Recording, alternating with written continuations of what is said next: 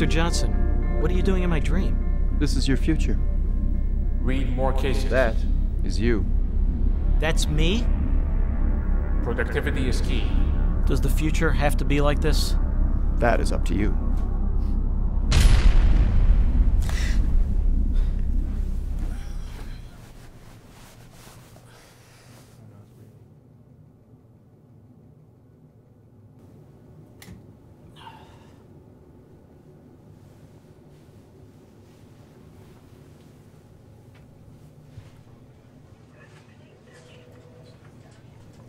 Mrs. Archer, good to see you again.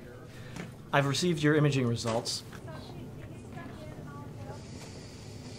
What is this, a parallel universe or something? Think of it more as an alternate reality. Let's talk about the results and the report I'll be sending your primary care physician and your surgeon. It makes perfect sense that patients want to learn the results of imaging tests immediately after an examination in clear, understandable terms. That indicates a full thickness supraspinatus tendon tear, or more simply, a rotator cuff tear. Medicine is so hard to follow for lay people and is made more complicated by the stress a medical condition or injury can bring. Cooperation and teamwork always provide the best results.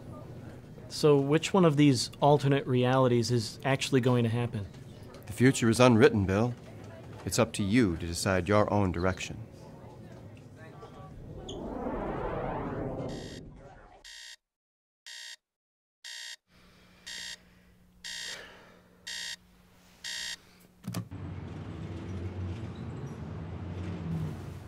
Well, let's hold up here for a moment.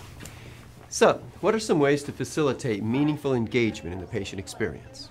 I think radiologists need to see patients as people and interact with them directly whenever they can.